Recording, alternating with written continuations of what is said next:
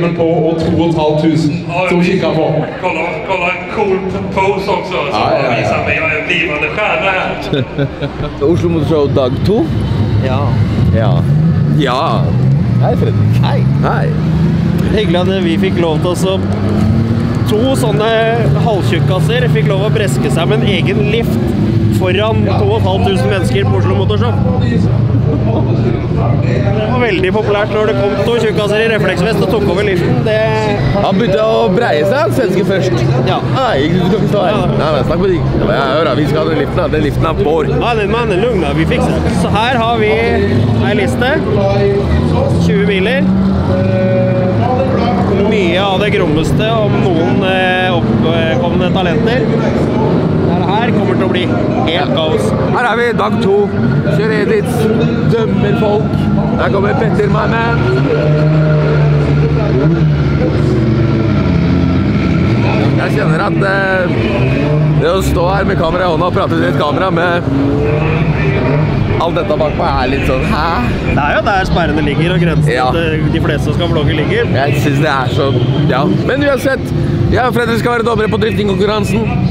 Vi skal dømme show, så skal vi ha det kult her. En ting som er litt sånn her, er sånn, er det at det neste kjøring så må det en som kan ta kameraet ditt for når de skal kjøre klokka fem. Ja. Da må vi ha det som, eh, som du er kjent for, nemlig slow-mo. For det lyset som er etterpå, på den siste kjøringa, Ja, ja, ja. det ble helt sinnssykt. Ja, men det, det går helt fint, fordi kameramannen min sitter der. Ja. Er det her, ja?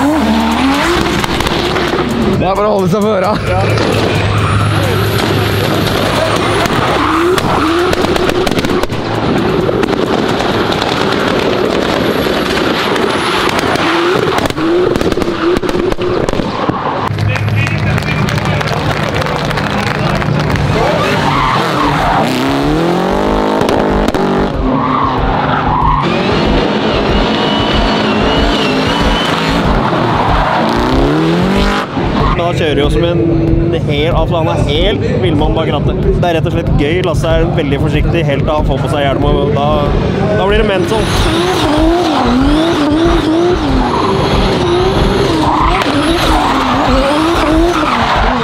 Lasse er helt klart den som har laga mest røyk hittil.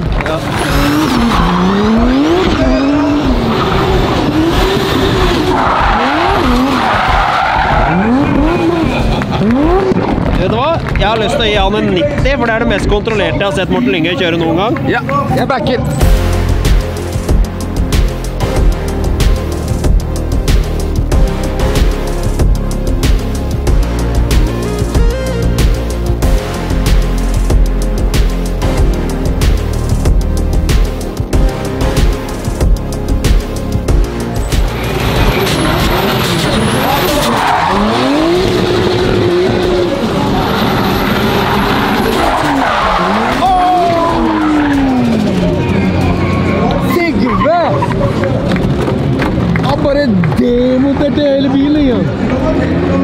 Setter en null på Sigve Fulleby. Eh, ja, jeg tror det er Sigve, what the f***. Vi har, vi har det på film, da. Takk for content, Sigve. Det setter jeg veldig stor pris på. Det er veldig hyggelig. Jeg satt en femmer for sympati, men altså, han burde jo fått mer for innsatsen. Men altså Ja, og så han hadde en En sympati, sympati helvetes fart inn her. Ja. Tenk hvis ikke de høyballene og de betongklossene hadde vært der. Denne folkemengden der har vært most! Sikkerhet veldig, veldig viktig. Selv om onkel er en idiot og gjør idiotiske ting, så er sikkerhet fortsatt veldig viktig. Spesielt på sånne her arrangement. Motorsporten i Norge har så lite ulykker. Verste ulykka jeg har vært med på i Motorsport-Norge, vet du hva det var? Det var Ørjan Nilsen som tryna med ei sånn glassflaske i handa på premieseremoni. Det er styggeste ulykka jeg har sett. Han er altså sjefen over alle sjefer for dette arrangementet. Pappa leverer varer som fenger og skoler elever. Vil du ha penger? Dinero vi stacker til taket det sprenger. Han er eh, snart 100 år, men han er god som gull! Han som lager det for oss, gi mannen en applaus, da!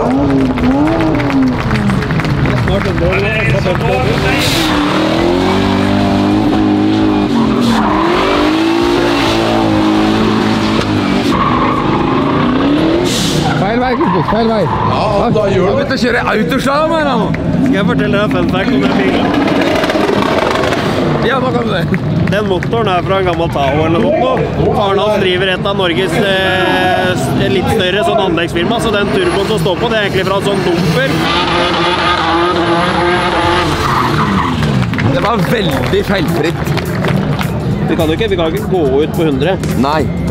Det er det som er litt viktig. 100, det skal være sånn der, det skal ha hjertet i halsen, det skal, jeg skal, Ja, jeg skal, jeg tre halmballer brenner, og det skal være Jeg skal ha frysninger. Ja. Da er det 100.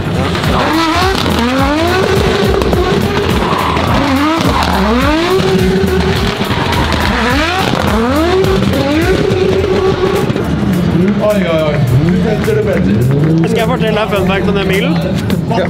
Den går ikke på bensin, han kjører på kinaputter.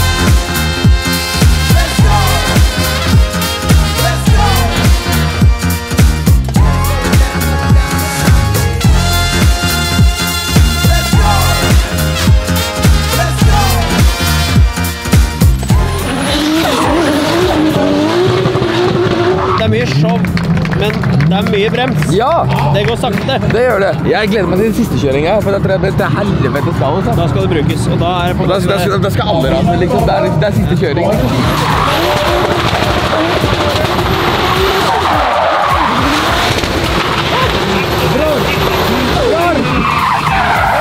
Men det er klart at Ørjan Grønning Han, eh, han leverte varene.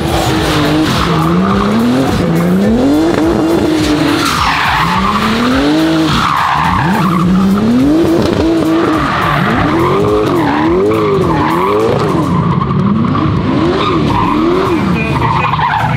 er jo det er mye gode intensjoner her. Det er, ingen, det, er ingen, det er ingenting å si på vilja.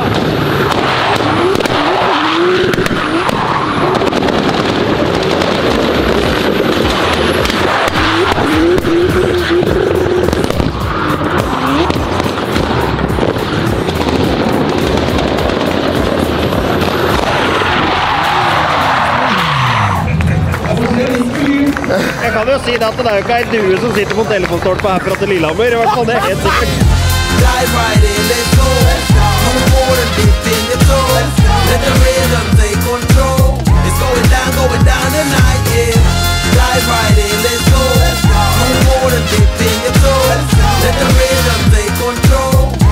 down, going down tonight, yeah.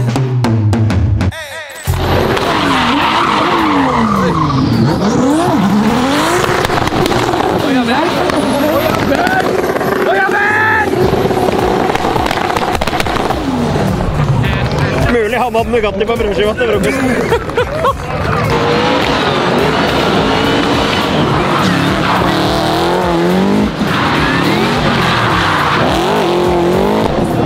Hyundai Velosteren, Ja. den har stått på toppen av Holmenkollbakken. Da var den rød. Tenk deg det. Og nå er den blitt bakhjulstrekk og kjører drifting. Så den har hatt, et, eh, hatt litt av et liv, den bilen her.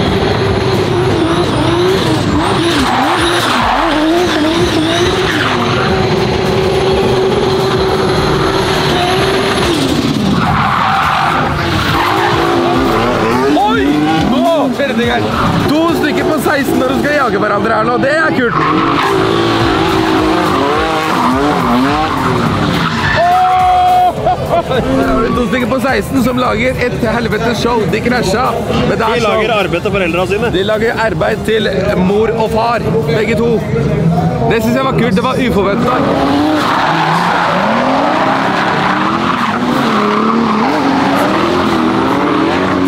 På Eiksås. Jeg syns det er dritgøy. han Liksom, har- de kaster den der jævla amerikanske balja rundt her, liksom. Den er så svær, men han har fått kontroll Altså, dette sett er, så lang, da. Den er helt vilt lang. Jeg tror jeg er ferdig nå. Nydelig kontrollert kaos, jeg. Så ja.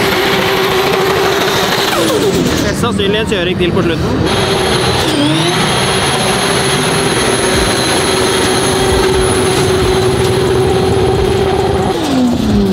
Ah, Nydelig, bare.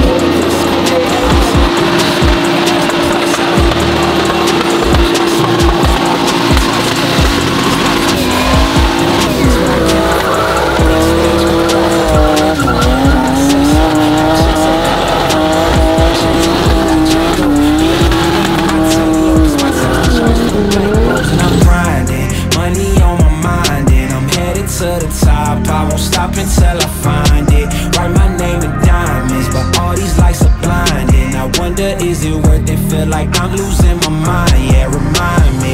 Don't be afraid of the dark. Be careful with stars. Fy faen, dere har jo ingenting. Nei, men det Skulle gjort til onkel. Uten onkel Oskar så hadde jeg både vært tørst og ikke fått åpna Jeg hadde vært tørst, ikke ikke åpna flaska. Ser du? Ikke sant? Der har du meg. Så hadde jeg ikke fått Haritos med mango. Null Haritos. Bam. Skal jeg få snusboksen min? Takk for det. Sånn er slutten. Det er rallykjøring her.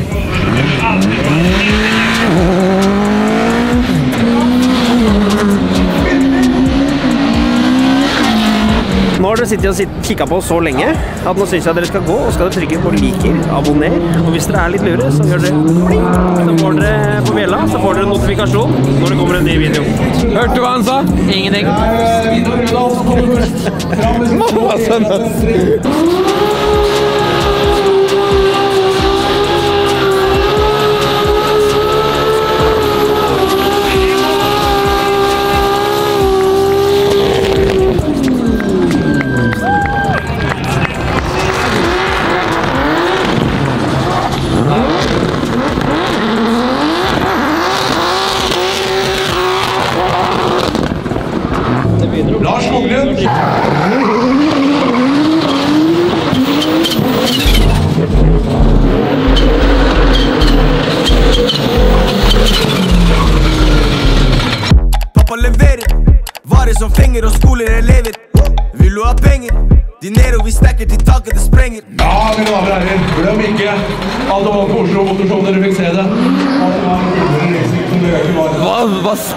det der? Var det motor eller var det girkasse?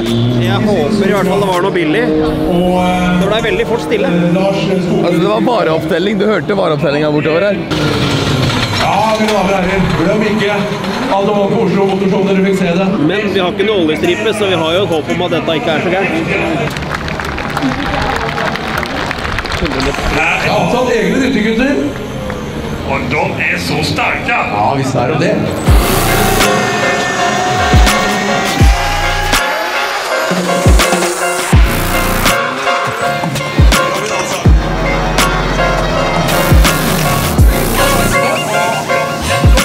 Oppmerksomhet skal du få. Skal du er jo at eh, Fredrik Aasbø kjører 1, men Simen Olsen står i der.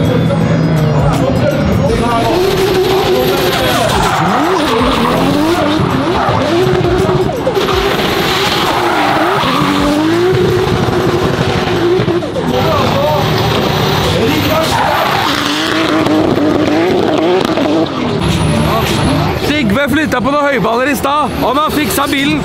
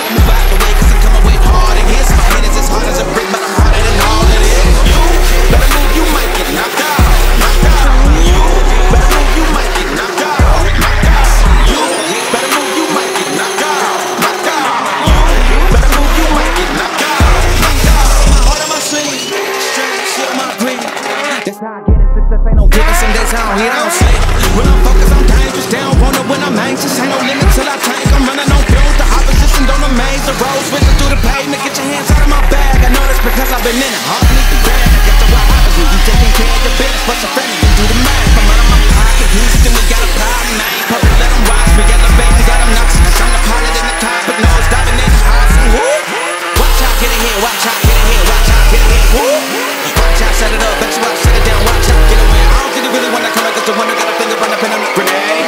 I ain't never been there when you think you can play. I'm aligned but the one up on the cage. I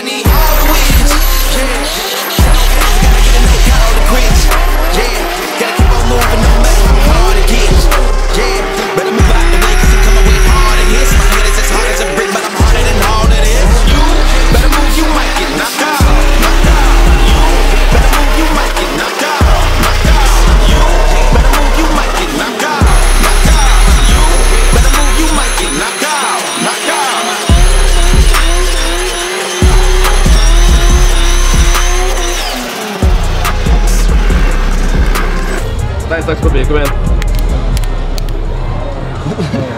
Ja, ok. Ja, en gang til.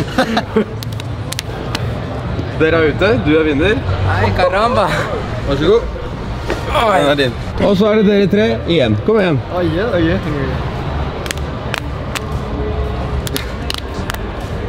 Vær så god. Men dere er kompiser.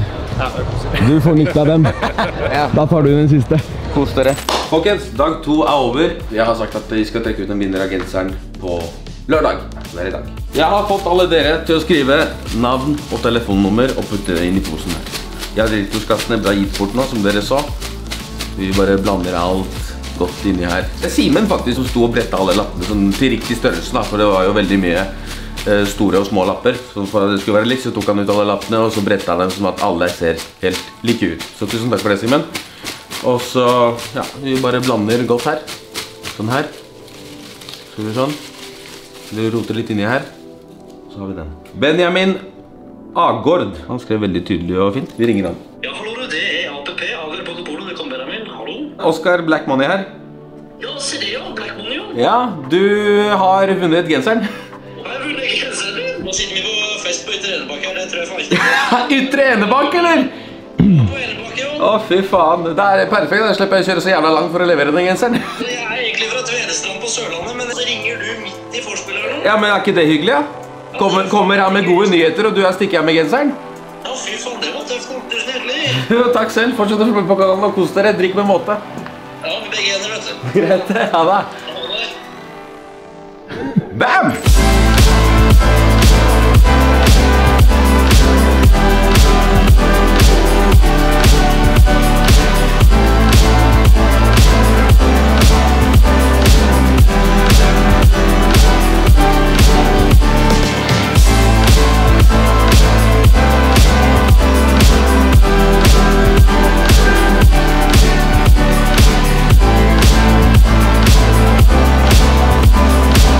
Bare sånn. Tusen Må vi vise fram hva du er, eh, ja? Der har vi vinneren av Flakmann-genseren. Du ringte meg i natt! Ja, jeg vet. Skal vi se her. Ti over ett ringte du meg. Ja, Du vet sikkert hvor det står en Formel 1-bil. vet du hva? Jeg har filmet masse. Jeg dekker sikkert 40 minutters episode herfra. Men jeg har ikke vært forbi den hallen her. Jeg har vært her og i pitten. Så det kan jeg ikke svare på.